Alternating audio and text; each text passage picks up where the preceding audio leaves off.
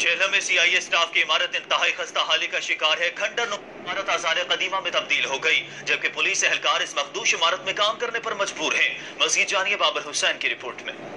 سی آئی اے staff Jhelum کی building کو دیکھ کے یہ اندازہ لگایا جا سکتا ہے کہ اس خستہ حال بلڈنگ کو عرصہ دراز سے نہ تو ریپیئر کروایا گیا اور نہ ہی اس کو اثر تعمیر کرنے کے لیے اقدامات کیے گئے ہیں۔ سی آئی اے سٹاف کے ملازمین یہاں پہ ڈیوٹی کرنے پر مجبور ہے یہ انتہائی خستہ حال بلڈنگ میں اپنے ڈیوٹی سر انجام دے رہے ہیں۔ وفاقی وزیر سائنس اور ٹیکنالوجی فواد چودھری نے یہاں پہ بلڈنگ کے لیے فنڈ جاری کرنے کے شنید تو سنائی تھی، لیکن عرصہ دراز سے اس بلڈنگ کو ریپیئر کروانے کے لیے کوئی اقدامات نہیں کیے گئے۔ یہاں پہ پولیس ملازمین اپنی زندگیوں کو خطرے میں ڈال کے ڈیوٹیاں سر انجام دے رہے ہیں۔ بلڈنگ انتہائی پرانی ہے اور سارے قدیمہ کی بلڈنگ معلوم ہوتی ہے۔ اس بلڈنگ کو ریپیئر کروانے کے لیے اور اس کی خستہ حالی کو دور کرنے کے لیے کوئی اقدامات کیے جائیں۔